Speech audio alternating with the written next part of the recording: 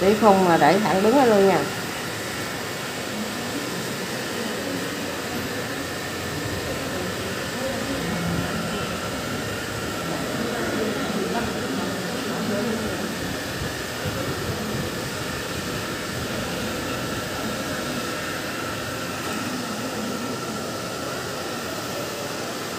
Cái này là mình để thẳng đúng luôn nha. Để mình kiểm tra. Cái nào nó dư thì nó sẽ đứt còn nó đều hơn cái gì rồi? Hết hộp nữa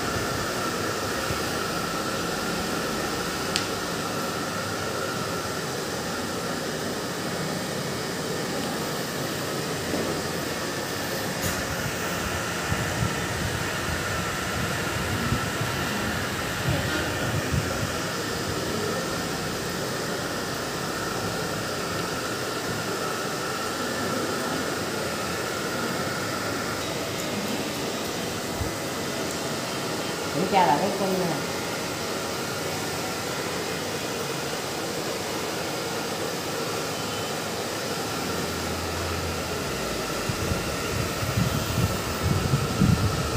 tới lúc này nè, mình dùng cái con rơ của mình. Đỡ đầu khách thẳng đứng nha. Dùng con rơ nè mở hết hàng ra. Bào nè. Dầm đứng ở trên đầu khách, đứng phía trên dầm xuống thấy cái thằng nào dư, thì mình bào. Bào cũng phải bào từ từ nhẹ nhẹ nha. Để nó ờ, tản tản xíu cho nó sáng sáng nè bào này cho cái phơm đậu ở trên nó sẽ tròn rồi phần nào dư thì nó sẽ mất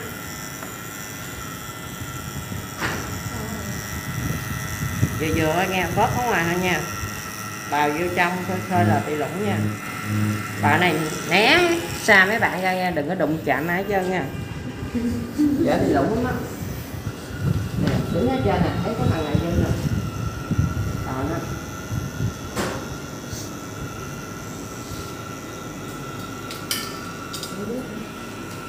dính đầu khách lại nữa nha.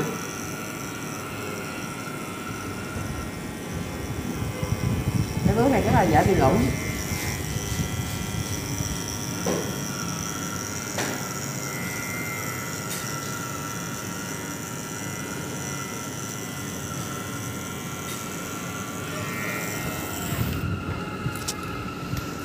Thấy cái form nó sẽ tròn lại bớt nha nó đỡ bị góc ngạnh hơn.